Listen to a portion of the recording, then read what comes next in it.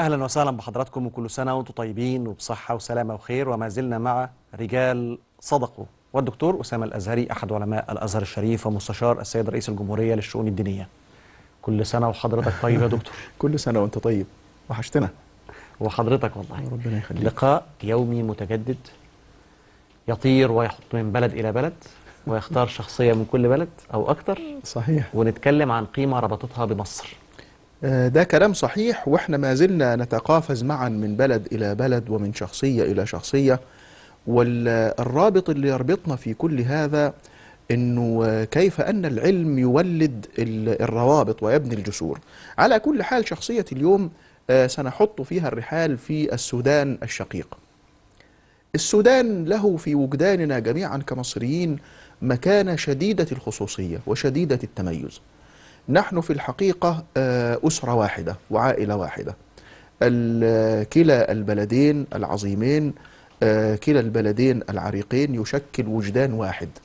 آه، مهما كانت المودة والقربة بيننا وبين بقية الأشقاء يظل أبناء السودان الشقيق في قلوبنا مكانة شديدة التميز. وأزعم أن مصر لها في وجدان السودانيين نفس المعنى فيما رأيناه في السودان في الزيارات المتعددة التي شرفت بها وفيما رأيناه من أشقائنا الكرام من أبناء السودان في في مصر. هذا مع التأكيد على الأخوة التامة والمودة التامة لكل أشقائنا في مختلف بلاد- بلدان العالم العربي والإسلامي. ال- العالم الجليل اللي إحنا هنتوقف عنده آه، النهاردة هو الأستاذ الكبير الشيخ محمد نور الحسن زين العابدين المالكي الأزهري السوداني. الشيخ محمد نور عرف بالشيخ محمد نور الحسن.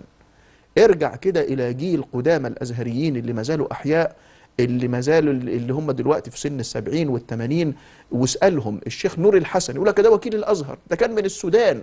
فمن من العلامات المضيئة الموجودة إنه إحنا كمصريين وكأزهريين يعني نرى الأخوة التامة بيننا وبين أشقائنا حتى وصل هذا إلى ظاهرة في نظري أكثر غرابة وطرفة. إحنا عدى علينا وقت آه، يبقى شيخ الأزهر الشيخ محمد الخضر حسين تونسي. الجنسية. في نفس هذا الزمن يبقى الشيخ محمد نور الحسن وكيل الأزهر سوداني. ويبقى الأستاذ الكبير الشيخ عيسى منون عميد كلية الشريعة في الأزهر الشريف يبقى فلسطيني. وقبل هذا بأزمان الإمام الكبير الشيخ حسن العطار والده مغربي. الإمام الكبير الشيخ محمد الأمير عبد القادر محمد بن محمد بن عبد القادر الأمير المعروف بالأمير الكبير أجداده مباشرة من مدينة مازونة في الجزائر وكتب عنها المهدي البو عبدلي مؤرخ الجزائر بحث عن علاقة الجزائريين بالمصريين من خلال الشيخ الأمير الكبير الذي هو مازوني الأصل جزائري ثم صار هو شيخ العلماء الأزهريين في مصر ووالده كان أميرا في ناحية من نواحي الصعيد. نعم نقرأ إيه من هذه الوقائع المتتالية؟ إن الأزهر مش مؤسسة مصرية ولا إنها مؤسسة تتيح الصعود الوظيفي فيها وال- والصعود صعود المراتب مش الوظيفي لا. بالكفاءات فحسب هو الأزهر بلا شك مؤسسة مصرية مصرية الكرم والصناعة والوجدان والمكان يعني مصر هي التي تحمل الأزهر الشريف على أكتافها وهي التي توفر كل متطلبات الأزهر الشريف ليكرم أبنائه. لكن الأزهر عالم الرسالة عالم الأداء عالمي المزاج ويظل م م يعني راسخ الأصول والجذور في مصريته. وكلما أمعن في مصريته ازداد عالمية وتالقا بين الأزهر الشريف وبين مصر علاقة الإبن بالأم. الأزهر الشريف ابن بار بأمه الكبرى مصر. ومصر قدمت للأزهر الشريف كل وجوه الإكرام التي يكرم بها أبناؤه وأبناء وضيوف مصر في الحقيقة. ليكون الأزهر أحد المؤسسات المصرية الكبرى والواجهات المصرية التي تصنع بها مصر هذا العطاء. والأزهر الشريف حشد كل هذا الحب الذي رسخ له في قلوب الناس فتوجه إلى مصر من ثم. هي علاقة شديدة الترابط وال- والتمازج بهذه الصورة. بس المشهد اللي أنا عايز أقف عنده من وراء كل هذه الأمور هو اتساع الأفق المصري. أنا أذكر واحد من شيوخنا من علماء سوريا اسمه الشيخ محمد سعيد الكحيل. اتصلت به وهو في أخريات أيام توفي من حوالي 15 سنة ولا شيء وزرت منزل ابنه في مدينة حمص في سوريا يمكن سنة 2007-2008 لما كلمته آه بقول له أنا فلان الفلاني من الأزهر من مصر.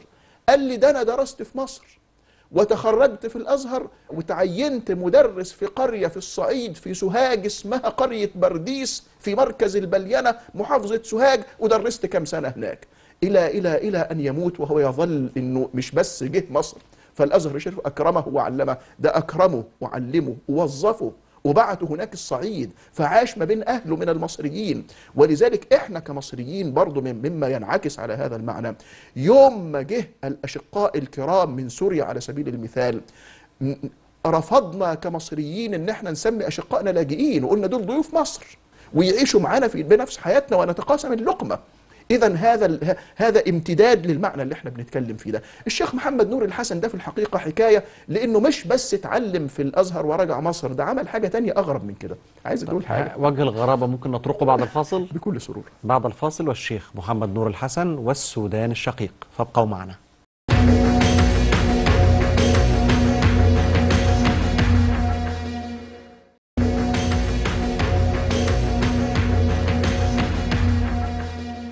أهلا وسهلا بحضراتكم دكتور أسامة والشيخ محمد نور الحسن. أيوه. إيه الوجه الغريب أو الشيء الغريب اللي عمله؟ الوجه الغريب فيه أنا عايز كمان يعني أعدي بسرعة على على أشياء ومحطات في حياته.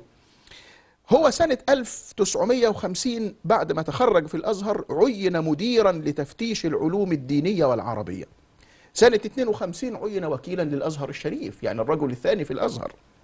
سنة 54 عين وكيلا لوزارة الإرشاد القومي المصرية اللي هي وزارة إيه بالعرف المعاصر؟ الإعلام. وزارة الإعلام.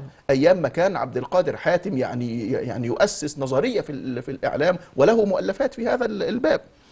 سنة 58 صدر القرار الجمهوري من الرئيس جمال عبد الناصر بعودته وكيل للأزهر مرة أخرى يعني يتنقل ما بين وكيل وزارة الإعلام ووكيل الأزهر الشريف وقبلها يدرس في المعاهد الأزهرية كما حصل على عضوية مجمع البحوث الإسلامية في الأزهر الشريف.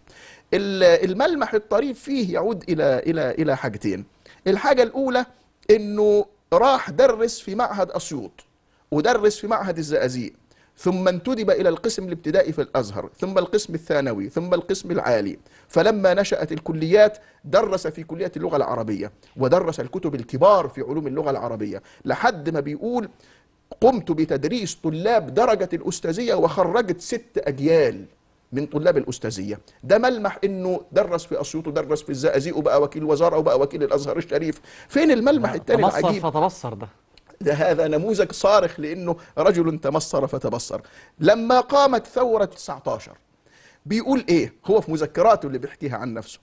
بيقول وعندما قامت الثورة المصرية بزعامة سعد باشا زغلول ضد الإنجليز كانت غرفتي في رواق السنارية في الأزهر مركز لقيادة الثورة في الأزهر الشريف. يعني من غرفتي كان قادة ثورة 19 يخرجون ليلهبوا مشاعر الجماهير أن هبوا لإنقاذ وطنكم من براثن الاستعمار. يعني يعني إلى هذا الحد امتزجت السودان ومصر وانصهروا فصار يحابي على مصر. ويدافع عن مصر كدفاعه عن السودان. الملمح ده كم راقني وكم أطربني. الشيخ محمد نور الحسن آه بيقول إيه؟ بيقول أدخلني والدي الكتاب ولما بلغت سن 12 سنة أتممت حفظ القرآن واتصل بعلماء أم درمان فسمع منهم عن مكانة الأزهر فسافر إلى مصر وسنه 14 سنة.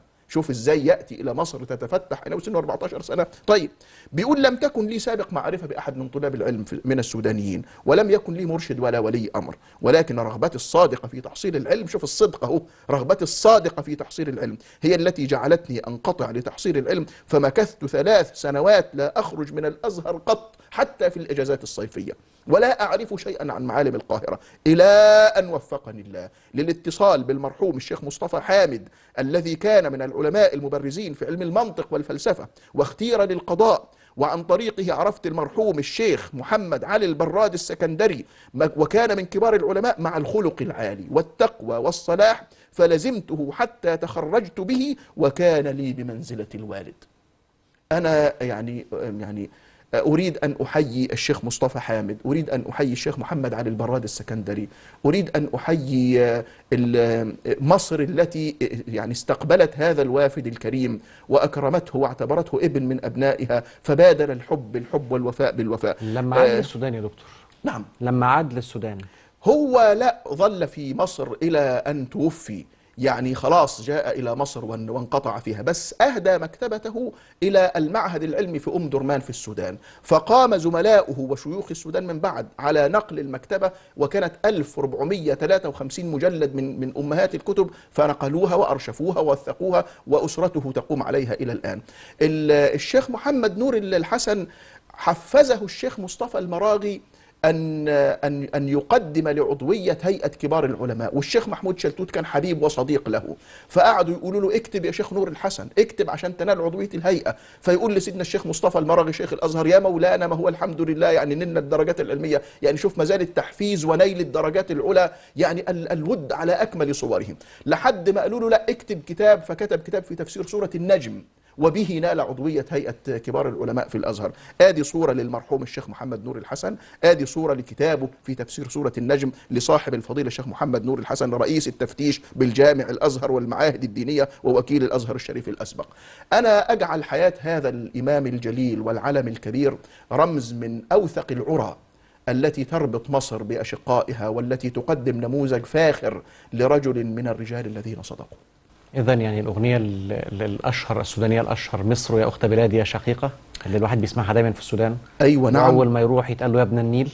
صحيح. كل ده جزء من مشهد صنع وحيك بمرور الزمن وبتقادم الأحداث وبتواتر وقائع المودة. الشاعر محمد سعيد العباسي الذي يشبه عند أشقائنا في السودان بمحمود سامي باشا البارودي له ديوان شعر وله قصيدة في مصر وقد درس في مصر.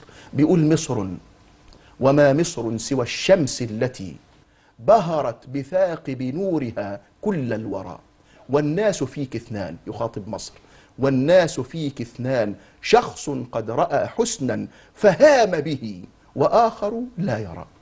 وآخر لا يرى لا يهتدي إلى موضع الحسن. رحم الله الجميع. وآخر لا يرى لا يهتدي إلى موضع الحسن. موضع الحسن هي مصر. غدا نلقاكم إن شاء الله وحلقة جديدة.